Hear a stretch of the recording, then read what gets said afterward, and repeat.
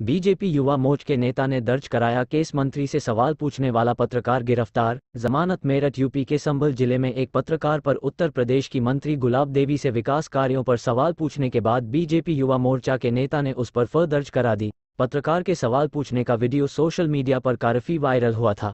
Police का कहना है कि बीजेपी युवा मोर्चा के नेता ने पत्रकार के खिलाफ फर लिखाई थी, जिस पर कार्रवाई की गई है।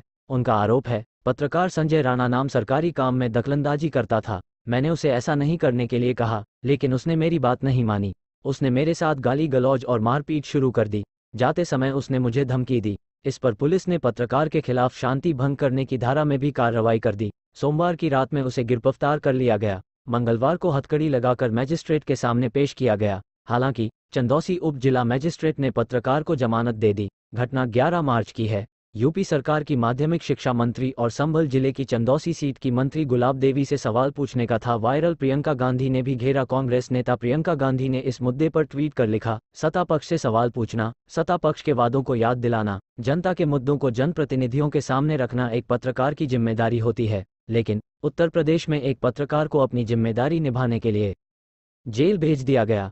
बीजेपी चाहती है, मीडिया केवल स्तुति करे कि आप इस गाँव का विकास करवाऊँगी। लेकिन यहाँ सड़कें अभी तक ये कच्ची है। पत्रकार के सवाल पूछने के बाद मंत्री ने पत्रकार से कहा कि मैं तेरी निगाहें बहुत देर पहचान रही थी। जब तुम वहाँ पर खड़े थे, तभी से मैं देख रही थी। मंत्री ने कहा धीरे धीरे काम हो रहा है। विपक्ष हुआ हमलावर, पत्रकार की गिरफ्तारी पर विरोधी दल बीजेपी पर हमलावर हो गए। समाजवादी पार्टी के मीडिया सेल ने ट्वीट कर कहा है कि संभल में बीजेपी सरकार की मंत्री गुलाब देवी ने विकास के मुद्दे पर सवाल पूछे जाने पर पत्रकार को जेल में डलवा दिया है। बीजेपी सरकार में अघोषित इमरजेंसी और तानाशाही नहीं तो और क्या है?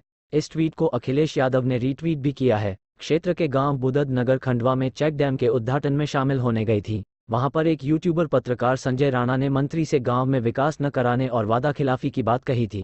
यूट्यूबर ने मंत्री से सवाल पूछा कि आपने कहा था विधायक गुलाब देवी अपने विधानसभा